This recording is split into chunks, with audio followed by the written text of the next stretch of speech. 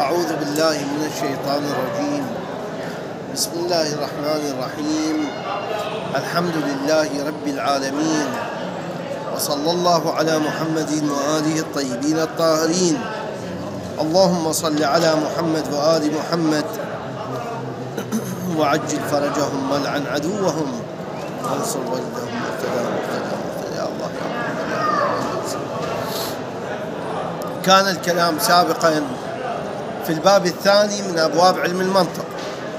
مثل ما تعرفون علم المنطق هو عبارة عن ستة أبواب. مدخل ثم الباب الأول هو مباحث الألفاظ ثم الباب الثاني مباحث الكلي ثم الباب الثالث التعريف ويلحق به القسمة تلحق بالتعريف القسمة كيفية تقسيم المفاهيم الكلية. انتهى الكلام في الباب الثاني. الباب الأول والباب الثاني انتهى الكلام فيه. وصلنا بحمد الله علم وصلنا بحمد الله إلى الباب الثالث من أبواب علم المنطق. الباب الثالث من أبواب علم المنطق. اللي هو التعريف. لأنه قلنا سابقا أن غاية الجزء الأول هو التعريف. غاية الجزء الأول يعلم الطالب كيف يعرف الأشياء تعريفا صحيحا. شلون يعرف هاي الأشياء تعريف صحيح؟ فلذلك يعطينا مقدمات معينة إلى أن نستطيع تعريف الأشياء تعريف صحيح دقيق منتظم خالي من الخطأ والشبهة. نعم. أول مقدمة يطرحها المصنف أول مقدمة في هذا الباب. نريد أن نسأل. نحن عندما ندخل في باب معين نعرف عنوان ذلك الباب. مثلا مباحث الكلي. فنسأل هذا السؤال. ما هو تعريف الكلي؟ مباحث الكلي والجزئي. ما هو تعريف الكلي؟ ما هو تعريف الجزئي؟ أو الأبواب التي ستأتي. مثلا مباحث الاستدلال. ما هو تعريف الاستدلال؟ مباحث القياس. ما هو تعريف القياس؟ مباحث التمثيل. ما هي تع... ما هو تعريف التمثيل وهكذا. فالآن نحن دخلنا في باب جديد وهو الباب الثالث من أبواب علم المنطق وهو التعريف. نقدر نسأل ما هو تعريف التعريف؟ نقدر هيك نسأل؟ هذا المصطلح اللي هو التعريف إله تعريف معين لو ما إله تعريف معين. شو يكون الجواب؟ التعريف هو مفهوم بديهي. وكل مفهوم بديهي غني عن التعريف. بعد الأشياء البديهية لازم أنا أعرفها وأوضحها لو ما يحتاج لها إيضاح. هي واضحة. توضيح الواضحات من أصعب المشكلات هي واضحة أساسا. فما يحتاج لها بعد. إيضاح أو تعريف أو ما شاكل ذلك.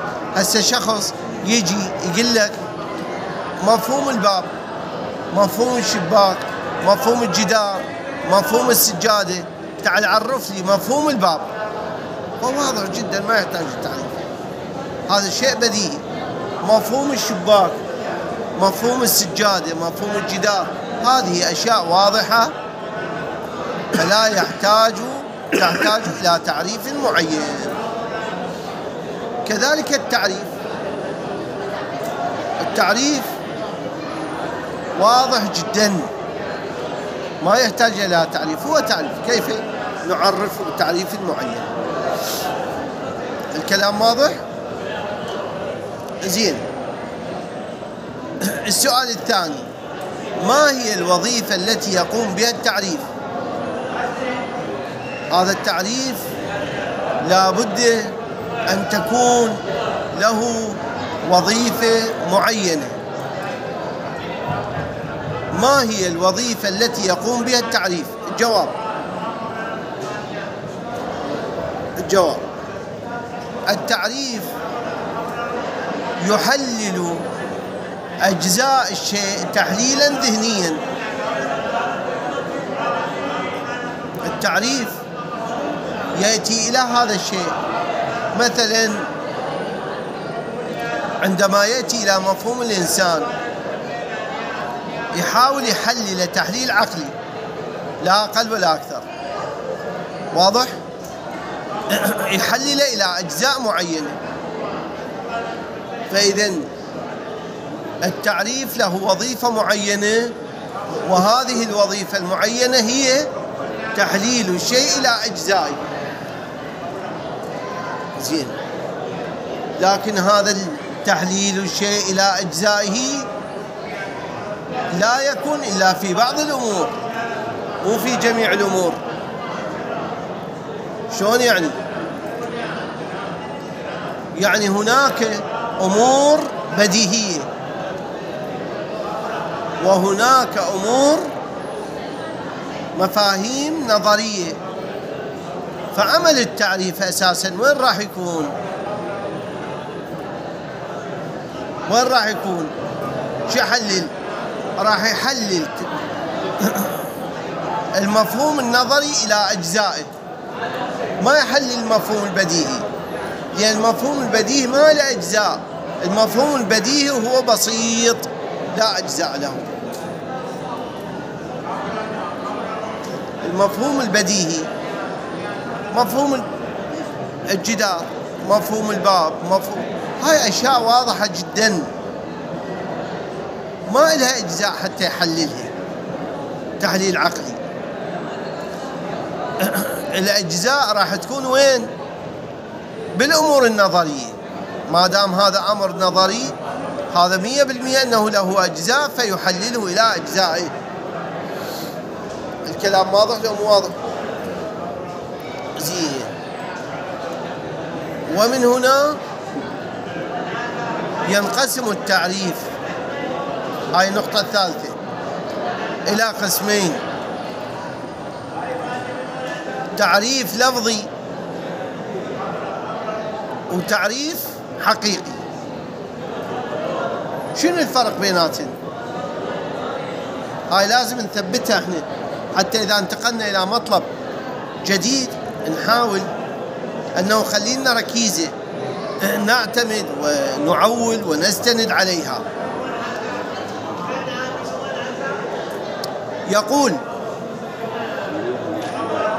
أما التعريف اللفظي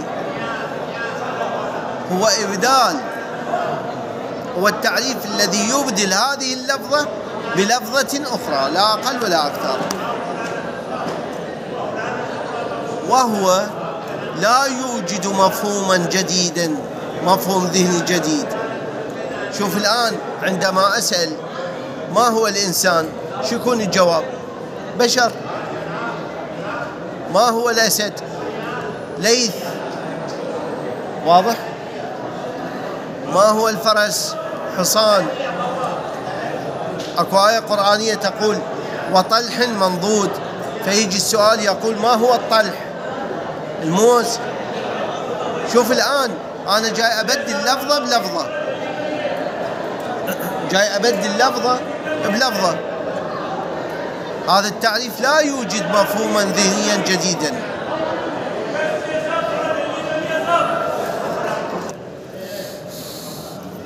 فلذلك هذه التعاريف اللفظية تحاول تبدل لفظة بلفظة.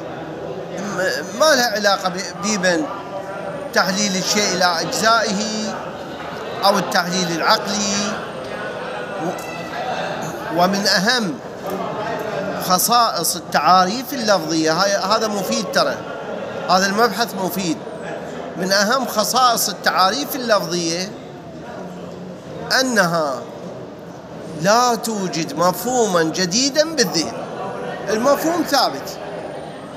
شوف ما هو الطلح؟ موز.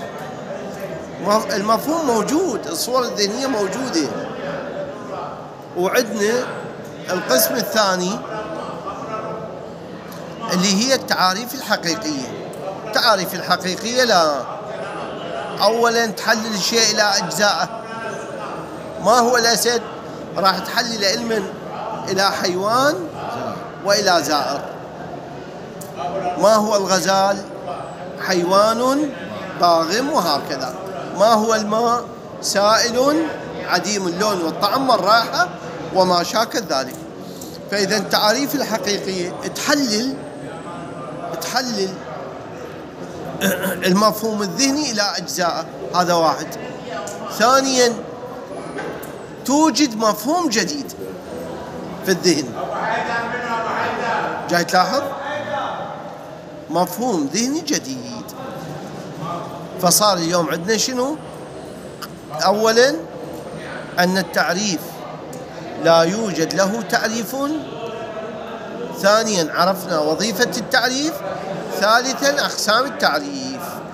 هاي كمقدمة للدخول في هذا الباب. والحمد لله رب العالمين.